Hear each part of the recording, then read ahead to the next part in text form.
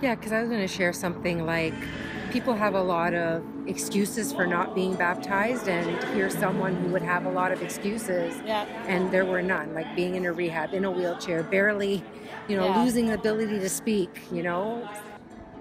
Greetings. Hi, church. Um, welcome to Sunday, August 27th. Uh, I want to introduce to you your newest sister and my mom, Eileen Kwame.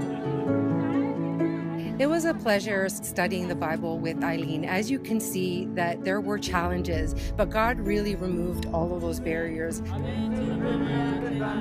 We're here now. We're at a condo. We actually uh, we were at the park today for our outdoor service, and then we had to actually come to a pool. So it took effort with Wheel-Trans and taxis in order to get here. Four brothers to help get her in the pool.